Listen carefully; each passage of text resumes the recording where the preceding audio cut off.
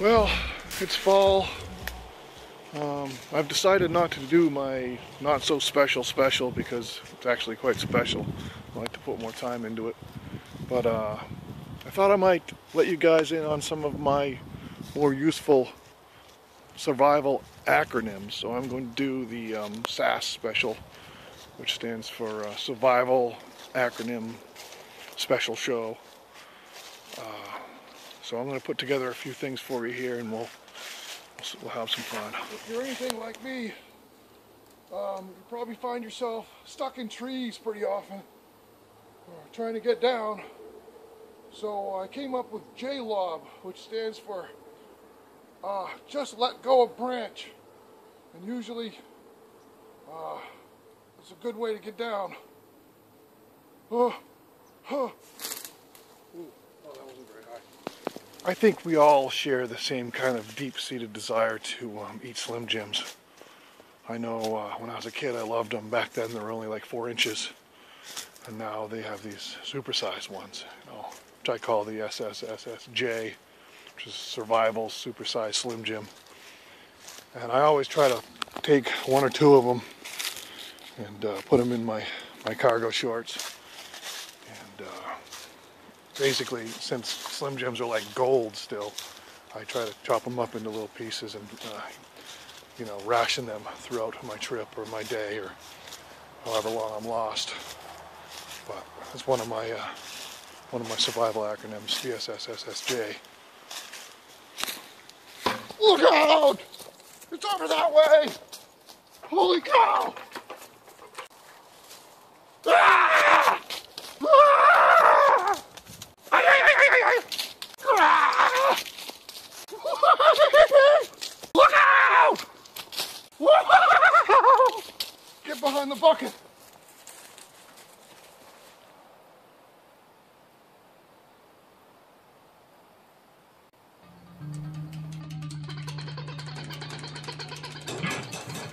One uh, survival acronym I like to use is called SOTA, which I call uh, for stay on top of hammock because uh, a lot of times if you don't do it right, you go, oh, oh, you gotta be careful. Whoa. Uh,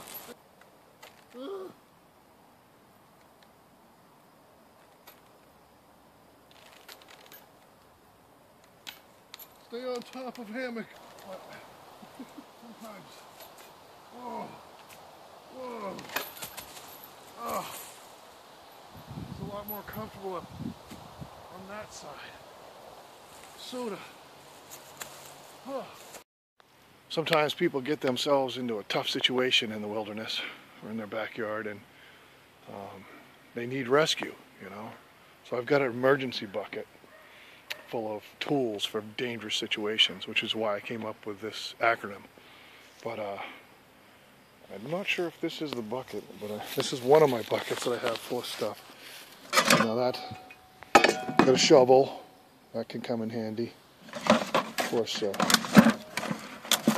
an axe, always need an axe in an emergency situation. Uh, got a camera document, uh, this is actually a camera outfit, you can see it says right on it, to document um, the, the problem tape measure. Not really sure what that's for. Uh, blue rubber band.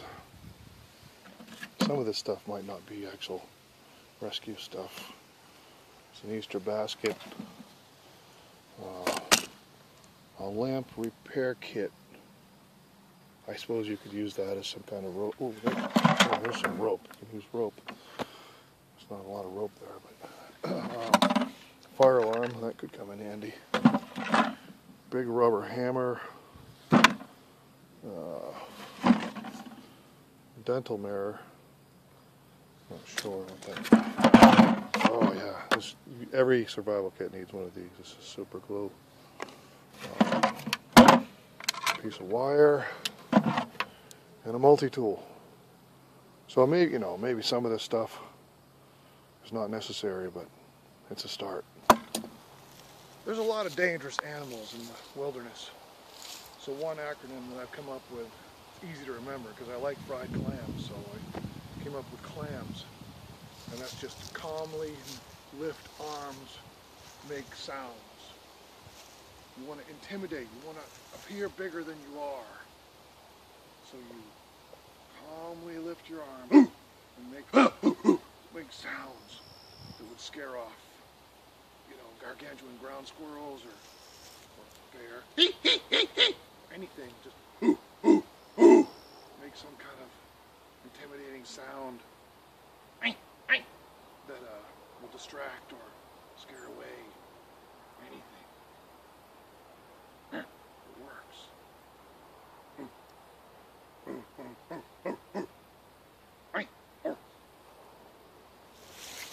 Incidentally, uh, clams also works for uh, can't lift any massive stones. So if you see a massive stone, you're trying to lift it, just remember you can't because it's massive. Another one is careful licking all muddy snails. I mean, you really shouldn't lick snails, but if that were the case, you at least you could remember by saying clams. But uh, just more helpful tips. You know, I get myself into a lot of situations, and oftentimes I'm in pain. So one of the acronyms I've come up with to try to better my life or get out of that situation is SNOT, which means uh, stands for Seek New Occupation Tomorrow. So like when I'm laying on the ground and I've hurt myself, which I usually do, um, I just remember SNOT. Maybe there's hope for some something better. You guys might be familiar with this one. I call it Witch. It's like uh, wife is trying communication. Hide.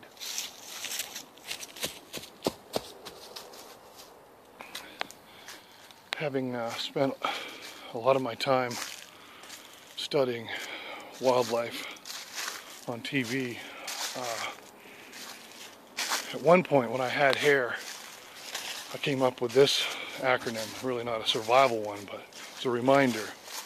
Cello. Uh, cut hair exactly like Oprah. I mean, she had some cool hair back in the day, you know